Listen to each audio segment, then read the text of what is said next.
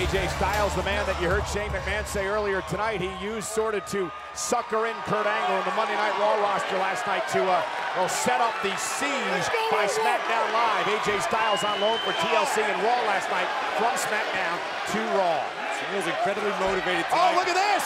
Oh, yeah, good, good call. Why is it a good call? Because he should be out of the ring and he has no business being in there to interrupt this WWE matchup. champion. It's a, it's a one-on-one match, He's Corey. simply trying to support the men that have supported him along the He ride. gets support from the back.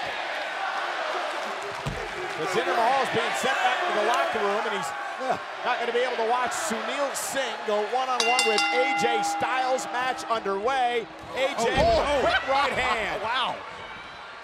And now a headbutt. Nasty headbutt right on the eyebrow of Sunil. AJ, and look at Oh. Samir. Samir up on the apron. Oh, no. No. Trying to ambush him from behind is Sunil. Sunil into Samir. AJ Styles looking to make Uh-oh, quick uh-oh, work. uh-oh. Rolls into the calf crusher. Sunil Singh nowhere to go, middle of the ring. He's got a tap. Submission, the phenomenal AJ Styles. I hope Jinder was watching that. Yeah, so much for uh, fighting for Jinder's honor.